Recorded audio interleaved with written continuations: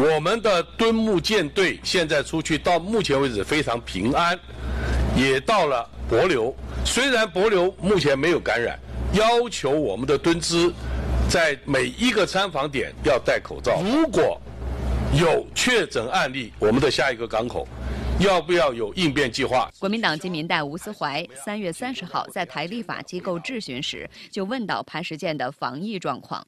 现在我们都一切安全，都是都是平安的，人员都经过呃相关的检疫作为，确定人员健康，我们才出去。如果有，我们不具备美军这种空中撤离的能量，这个应变计划有没有？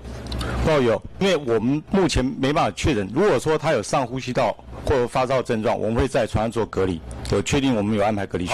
不管吴思怀怎么问，台军方都信誓旦旦表示舰队防疫没问题。结果没过几天，返台的磐石舰就爆发了新冠肺炎群聚感染。对于吴思怀的表现，此前不少嘘吴思怀的台湾网友这次大赞吴思怀神预言。据报道，吴思怀从去年进入国民党不分区民代名单开始，就被绿营以抹红方式攻击到体无完肤，连正式进入台立法机构成为民代，泛绿阵营也不放过他，只要找到机会就围攻谩骂。这种状况对于国民党中央和国民党台立法机构党团来说都不是好事儿。甚至江启臣上任党主席时，国民党内也兴起一阵要把吴思怀踢出不分区民代的声音。江启臣选择使用较和缓的方式处理，先和吴思怀恳谈，交换意见，并强调要定出一套民代考核机制，才让风波稍歇。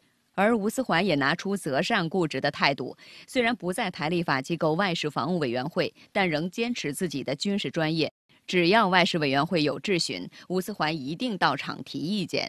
磐石舰染疫事件就是一例。吴思怀的此次表现虽然一扫之前的负面抨击，但国民党台立法机构党团却依旧和吴思怀保持距离。二十号召开记者会，批评台海军此次染疫事件，党团明明没人比吴思怀更专业，却硬是没邀请他参加记者会。